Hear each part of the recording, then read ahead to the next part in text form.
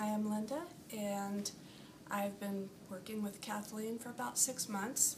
I was referred by my osteopathic physician for chronic back pain. I had been taking Vicodin daily and nightly for, well, getting close to a year. It was very depressing, and I was looking for a solution.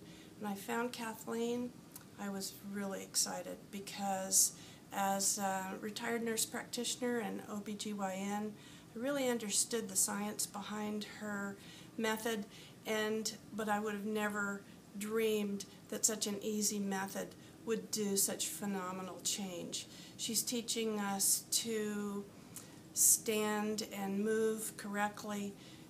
Basically, I understand the science and really appreciate that. I in the first two with after the first two weeks i no longer took vicodin again. It just kind of gradually happened and i guess suddenly if it were two weeks.